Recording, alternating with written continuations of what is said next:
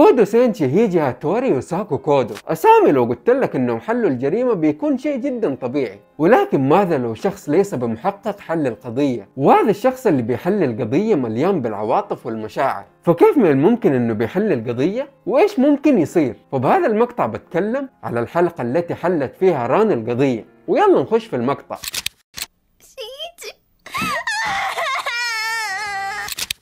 تبدأ الحلقة ونشوف ران وكونان وسونوكو في مكان مليء بالثلج. وكانوا ران وسونوكو يتكلموا على شينيتشي كالعادة وعن مواضيع لها علاقة بالحب. إلا ويأتي شخص ويقول لران وسونوكو مرحبا أيتها القطتان الصغيرتان اللطيفتان هل تودان التزلج معنا؟ طبعا كعادة سونوكو وافقت على طول لأنه وقتها ما كانت مقربة أبدا من ماكوتو وكانت تدور على أي رجل عشان يصير حبيبة. وبعد محادثة بسيطة بينهم تأتي امرأة وتقول يا إلهي أنتما الآنستان موري وسوزوكي أليس كذلك؟ كما توقعت لم أركما منذ مدة طويلة. وران ترد وتقول المعلمة يونيهارا. نعم عزيزي المشاهد هذه الامرأة هي معلمة ران وسونوكو في الابتدائية. والشخصان اللذان تغزلا بسونوكو وران هم معلمان أيضا وزملاء معلمة ران وسونوكو يعني الشخصان اللي تغزلوا بسونوكو وران يعرفوا المعلمة يونهارا معلمتهم بالابتدائية. والشخصان اللذان تغزلا بسونوكو وران قالوا ماذا؟ هل تعرفينهما يا أستاذة يونهارا؟ والمعلمة تجاوب نعم. ثم المعلمة تقول لران وسونوكو على أي حال لقد غدوتما آنستان جميلتان بالفعل. وسونوكو تجاوب على المعلمة وتقول وأنت كذلك يا أستاذة لا تزالين جميلة كما كنت خصوصا شعرك الطويل.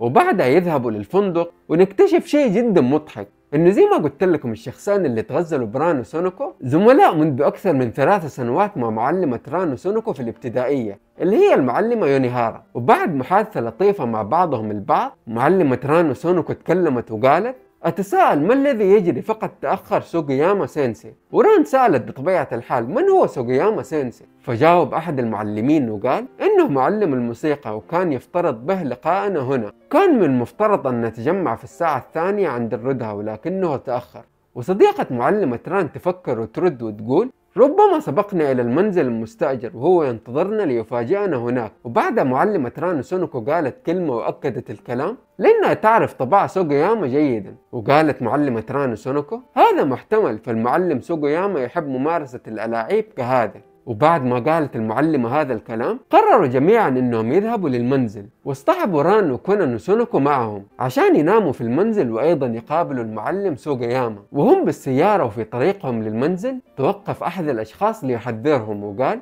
أحذركم من الذهاب إلى المنزل اعلى الجبل بسبب توقع هبوب عاصفة قوية وإذا ذهبت لهناك لا يمكنكم الرجوع حتى بعد انتهاء العاصفة. ووقتها أحد المعلمين سأل سؤال جدا مهم ولم يستطع أي أحد من المعلمين إجابته. سأل وقال من هو الشخص الذي استأجر هذا المنزل أساسا؟ وجميع المعلمين جابوا لست أنا.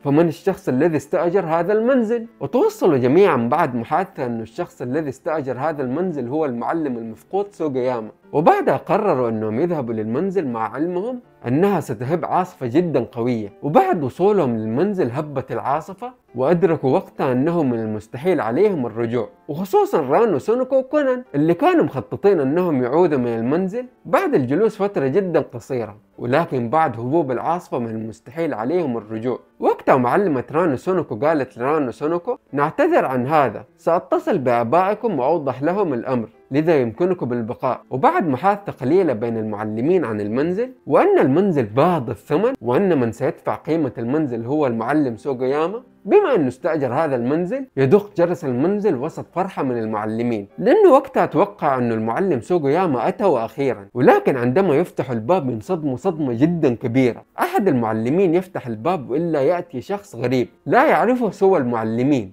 حتى أن سونوكو استغربت وقالت من ذلك الرجل؟ ونشوف تعريف لهذا الرجل. موري أتسوشي صحفي وعمره 37 سنة والصحفي أتسوشي يرد على سونوكو ويقول قبل ثلاث سنوات أنقذني هؤلاء السادة من مأزق كنت فيه. وهنا كنا نستغرب ها؟ قبل ثلاث سنوات. وهنا يدرك كونان ونحن ندرك كمان انه ذول الأشخاص كانوا موجودين بنفس المكان قبل ثلاث سنوات؟ ولكن لماذا عادوا لنفس المكان بعد ثلاث سنوات؟ مع الحلقة بنعرف هذا الشيء. والسؤال الثاني لماذا انصدموا عندما رأوا الصحفي؟ إذا أنقذوا هذا الصحفي قبل ثلاث سنوات فلماذا انصدموا الآن عندما رأوه؟ كمان بنعرف مع الأحداث بعدها نشوف أنه أحد المعلمين سأل الصحفي ماذا تفعل هنا؟ رد الصحفي وقال وردتني معلومة بأن خطبا ما سيحدث الليلة ووقتها الكل انصدم وكانوا يسألوا نفسهم ماذا سيحدث الليلة وكيف هذا الصحفي جاب المعلومة أصلا؟ وبما إنه هذا الصحفي جاب هذا المعلومة فإيش اللي بيصير؟ هل من الممكن تكون جريمة قتل أو شيء ثاني؟ بنعرف مع الحلقة. أكمل الصحفي وقال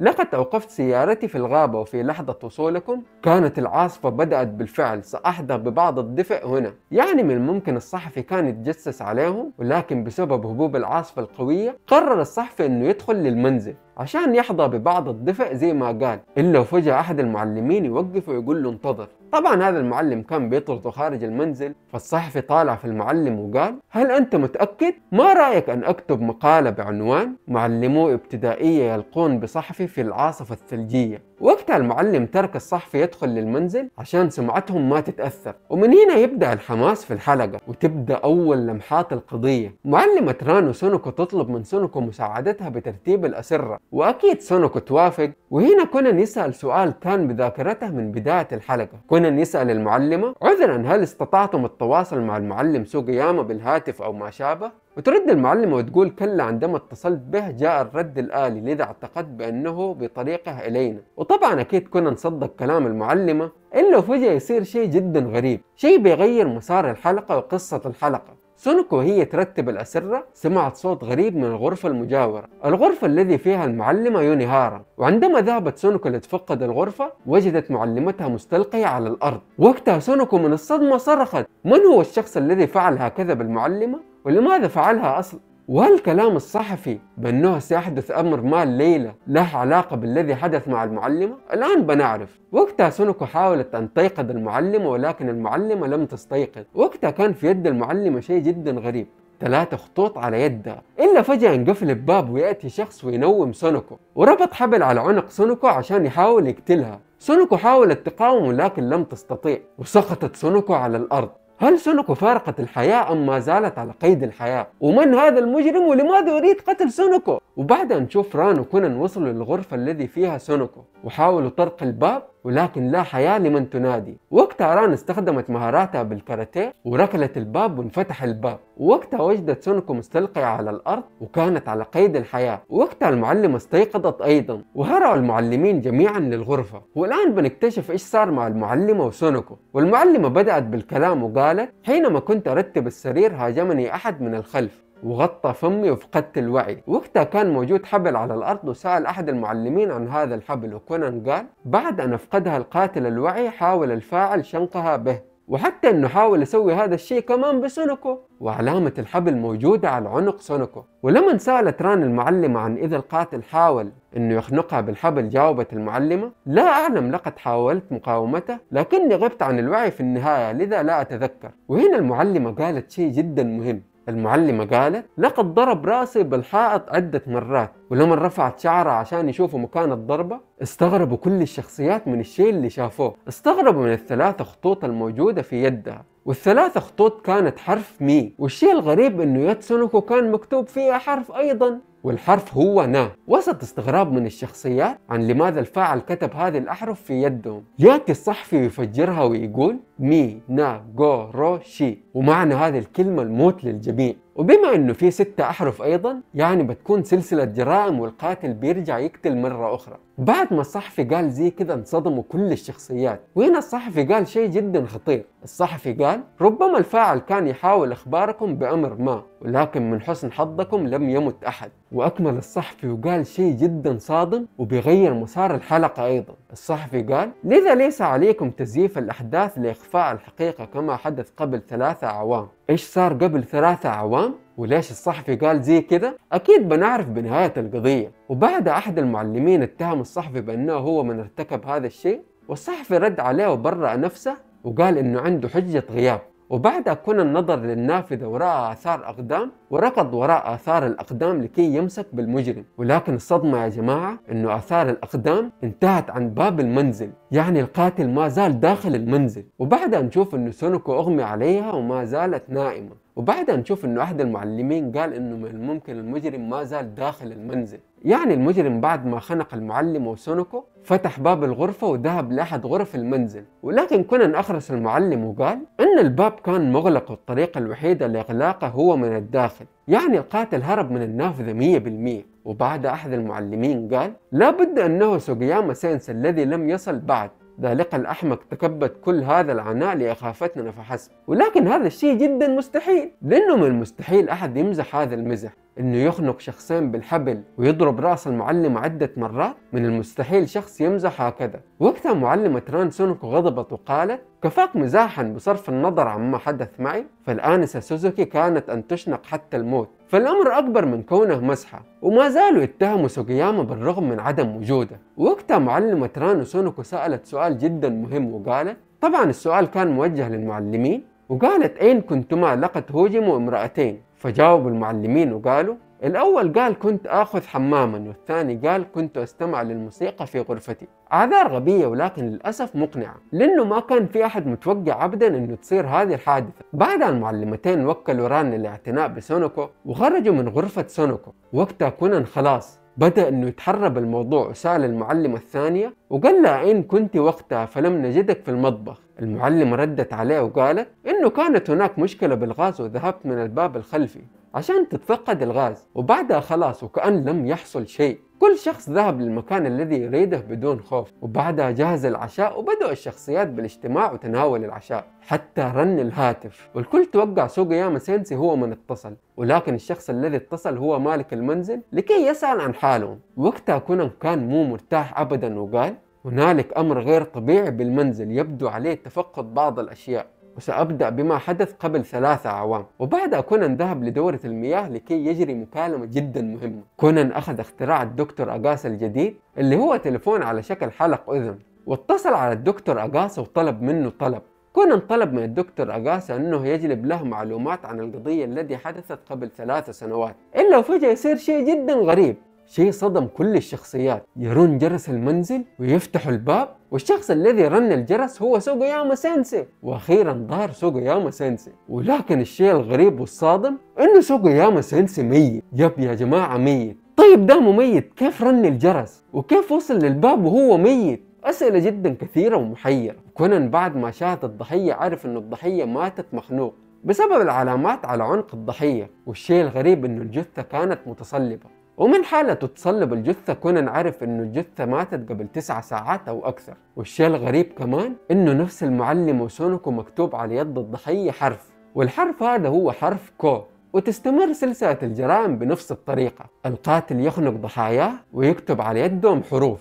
وقتها أحد المعلمين صرخ بجنون وقال لا علاقة لي بالأمر. وركض على غرفته وأقفل على نفسه الباب. وحاول المعلمين إقناعه بالخروج ولكن بلا فائدة. وعند محاولتهم الاتصال بالشرطة الشرطة جاوبت عليهم بأنه من المستحيل أن يأتوا حاليا لأنه الجو ما يساعد وهناك عاصفة ثلجية. وقالوا الشرطة أنهم سيأتوا بالصباح. وبعدها نشوف كونان ذهب أمام المنزل ليحاول حل لغز القضية. ونجي للجزئية المهمة في هذه الحلقة الدكتور أغاسا يدق على كونان ويخبره بالواقع الذي حدثت قبل ثلاث سنوات وقال قبل ثلاث سنوات في مدرسة هايدو الابتدائية شنقت طالبة نفسها في غرفة فريق كرة الطائرة والسبب هو اضطراب عصبي بسبب اختبارات القبول وبسبب هذه الجريمة ألقى اللوم على معلمة الطالبة ولكن مين هي معلمة الطالبة؟ ولكن مين هي معلمة الطالبة؟ هذا الشيء لم يرد في المقال ولما سأل كونان عن اسم الضحية الذي ماتت الدكتور أغاسا أخبره بأنه اسمها ماتشيزوكي ميناكو وقتها كونان انصدم وقال أوه ميناكو إلا فجأة تيجي ران من خلف كونان وتقول لكونان ماذا تفعل؟ ما هذا الشيء؟ وتاخذ التليفون.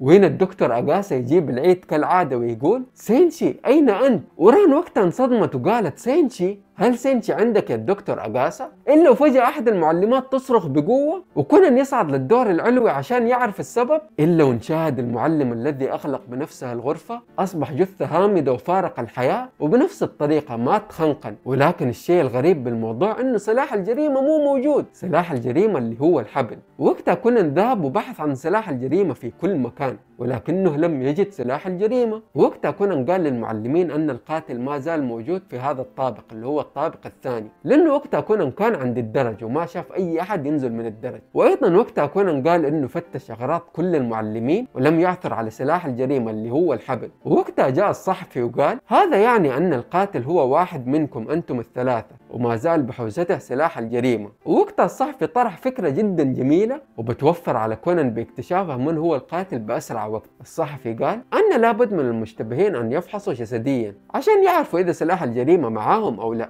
وبعد ما فحصوا المشتبهين جسديا هنا كانت الصدمة. سلاح الجريمة مو موجود وهذه كانت صدمة جدا كبيرة لكونان. أين هو سلاح الجريمة؟ وفجأة وأخيرا سونوكو تستيقظ وأول ما تفتح عيونها تقول أن المعلمة فارقت الحياة وفي شخص خنقها. ولكن سونوكو شاهدت المعلمة بجانبها وعرفت أن المعلمة بخير. وبعدها سونوكو قالت للمعلمة كلام جدا جميل. كلام أسعد المعلمة جدا. سونوكو قالت للمعلمة الحمد لله أنك بخير يا معلمتي فقد كنت دائما أنظر إليك بكل احترام وتقدير. وران أكملت كلام سونوكو الجميل وقالت سونوكو ليست الوحيدة الذي تعتقد ذلك فجميع فتيات صفنا كانوا يحترموك. وهنا نعرف أن ران وسونوكو يشوفوا المعلمة شيء جدا كبير ويقدروها ويحترموها جدا حتى أنهم يطلعوا لها يعني يعتبروها تقريبا قدوة. فجاوبت المعلمة وقالت لا داعي لكل هذا المديح ليست إلا امرأة عاجزة عن فعل شيء لطلابها حتى عندما هجمت يا سوزوكي لم أنقذك. ووقتها ران وسونكو فعلوا جدا من كلام المعلمة وقالوا هذا ليس خطأك هذا خطأ القاتل. ووقتها الصحفي جاء وفجرها وقال كلام جدا مهم. فاكرين مو كونان قال للدكتور أقاسا أبحث عن القضية التي حدثت قبل ثلاث سنوات؟ مو الدكتور أقاسا قال لكونان إنه اسم المعلمة لم يرد في المقال. الصحفي فجرها وقال المعلمة كانت يونيهارا سينسي معلمة ران وسونوكو والصدمة إنه مدرب فريق الطائرة كان هذا المعلم وكانت هذه المعلمة معلمتها المفضلة لذوي احتياجات الخاصة. طبعا أتكلم عن الفتاة الذي انتحرت قبل ثلاث سنوات وهنا عرفنا بعض الأشياء عن الفتاة هذه وعرفنا ارتباط المعلمين بهذه الفتاة. والصدمة إنه الصحفي قال لهذه المعلمة كان بإمكانك منعها من الانتحار. وبعد هذه الصدمات كلها قرروا إنه كلهم يجتمعوا بمكان واحد عشان خلاص القاتل ما يقدر يرتكب جريمته. وقتها كونان كان يمشي ويفكر بأحداث الجريمة. وبعد ما طلع كونان أمام المنزل من جديد وجد خط طائرة ورقية. وبعد ما فكر وربط الأحداث اكتشف كونان خدعة الجريمة الأولى وبعدها ذهب لجثة الجريمة الثانية وعرف وقتها كونان كل شيء عرف من ارتكب الجريمة وكيف حدثت الجريمة وأين سلاح الجريمة. ولكن كان في شيء واحد يعيق كونان والشيء هذا هو كيف يكشف الجريمة. وقال كيف أخبر الجميع بذلك؟ كانت سونوكو غائبة عن الوعي طيلة القضية فمن المستحيل تخديرها. ومن المستحيل تخدير ران لأن صعب إقناعها بالذي حصل. يعني من الممكن أنه ران ما تمشي عليها موضوع التخدير وزي كذا. وقتها كونان حصل حل جدا جميل وحل دائما نستخدمه وقال عرفت يمكنني أن أظهر الأمر بأني سمعت القضية من كونان وبعد أحل القضية مستخدما صوتي الحقيقي اللي هو صوت سينشي. ولكن كونان نسي موضوع جدا مهم. كونان نسي وجود شخص إذا كنا نسوي هذا الشيء بينشر هذا الخبر بكل مكان. كونان قال وقتها نسيت إن حللت القضية أمام الصحفي فسيكتب عنها في الصحف. وإن كتب اسمي في الصحف فسيعرفان أني على قيد الحياة المنظمة السوداء. وبعدها كونان جاته فكرة جدا رهيبة. وهذه الفكرة هي الفكرة الوحيدة والخيار الأخير إنه يحل القضية بدون ما أي أحد يعرف إنه هو اللي حل القضية. كونان كان واقف يفكر إلا وفجأة تيجي ران وتمسك كونان ولما ران مسكت كونان سقط هاتف كونان الغريب. وقتها ران راحت للهاتف وأخذت الهاتف.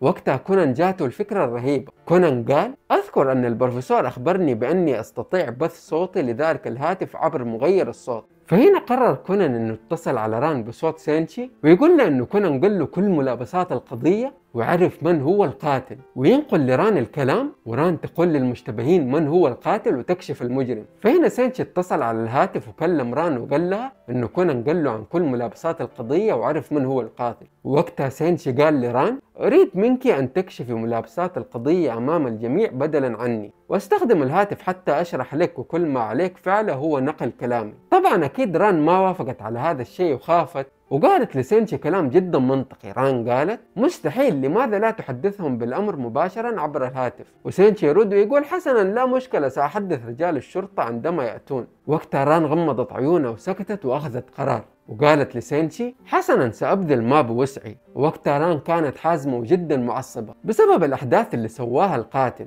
قتل شخصين وضرب معلمتها وضرب سونوكو. فران هنا بكل عصبية قالت سأنتقم منه لمهاجمته سونوكو ومعلمتي إضافة للمعلمين الذين قتلا وبعدها كونان وران جمعوا كل الأشخاص في مكان واحد. عشان ران تعلن من هو القاتل وتكشف ملابسات القضية وأول ما ران قالت عرفت من هو القاتل؟ جميع الأشخاص الموجودين انصدموا صدمة جدا كبيرة. وران قالت عرفت من هو القاتل وعرفت كل ما حدث. وبعدها سينشي بدأ يكشف أحداث القضية وران كانت تنقل كلام سينشي. وقتها سينشي قال لران قولي لهم أن القاتل ما زال بيننا. وجاء الصحفي وقال لران إنه لو طلع كلامك غلط بكتب في الصحيفة عن إنه كلامك طلع غلط وبتنفصلي من المدرسة. ووقتها سينشي طمن ران وأعطاها الأمان وقال لران ران لا تقلقي فأنا معك. أنت في أمان اطمئني. وقتها ران تطمنت من كلام سينشي واعطت الصحفي كلام ما راح ينساه ابدا. ران قالت للصحفي أكتب ما شئت ولتكن بعنوان ابنة المحقق الشهير موري كوغورو تكشف لغز الجريمة.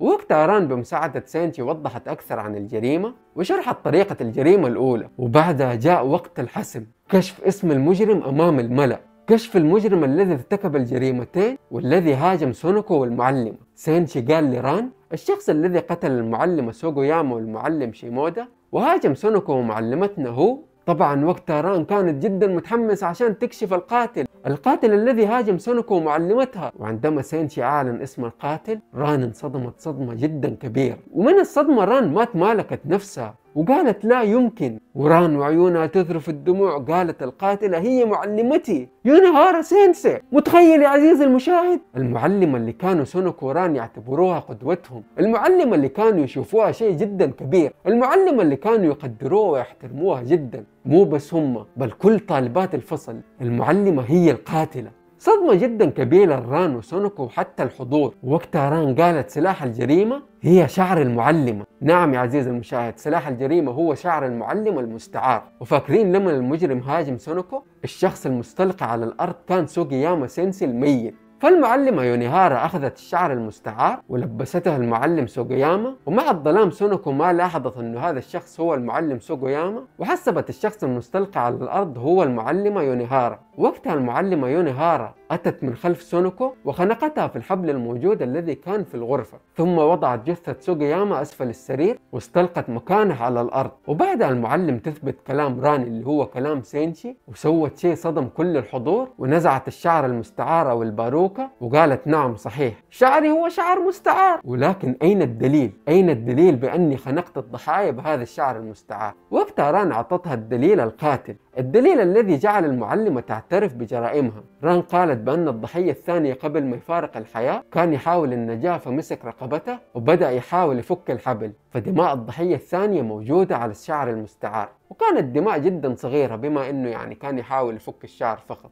وقتها المعلمة أدركت أنه خلاص لا مجال للهروب واعترفت بجريمتها. واعترفت المعلمة يوني هارا بأن سبب ارتكابها للجرائم بأن المعلم سوغوياما هو من قتل الطفلة قبل ثلاث سنوات والطفلة لم تنتحر وقررت أنها تنتقم من كل المعلمين الذي كانت الفتاة تحبهم. وانتهت هذه القضية المحزنة الران على هذا الشيء. المعلمة هي القاتلة وقررت إنها تنتقم من جميع المعلمين الذي كانت تحبهم هذه الطالبة. وانتهت القضية وسط حزن جدا كبير لران اللي بعد ما كشفت عن المجرم أقفلت باب الغرفة وأشهشت بالبكاء بشكل مو طبيعي لدرجة إنه أول ما رفعت راسها شافت كونان وشافت فيه ظل سينشي وذهبت لكونان وحضنت كونان وصرخت بأعلى صوتها وهي تجهش بالبكاء. قضية جدا حزينة ومؤلمة لران معلمتها المثالية الذي كانت تطلع لها هي القاتلة وران كشفت عنها بأنها هي القاتلة. وهنا انتهت الحلقة؟ الذي حلت فيها ران القضية. أتمنى أنه المقطع عجبكم